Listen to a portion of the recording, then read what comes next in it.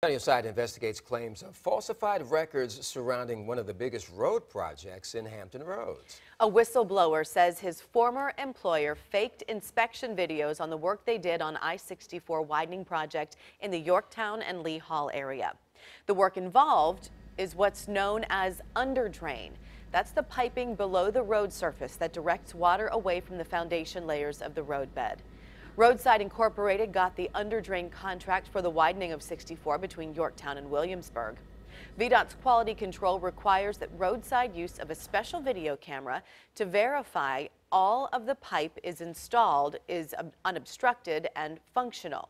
But a former roadside employee and VDOT's district engineer agree the company cut corners by submitting fake video of clear pipe.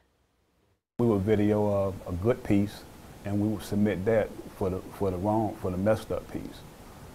So we would cut. That's how we would cover it up.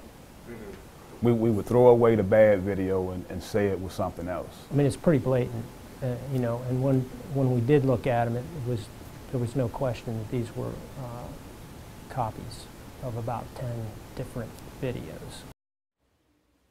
This case has already forced VDOT to change the way it deals with subcontractors. Investigative reporter Chris Horn looks into other projects where Roadside has done work and attempts to get the owner to tell us his side of the story. See his investigation, Money Down the Drain, tonight at 6.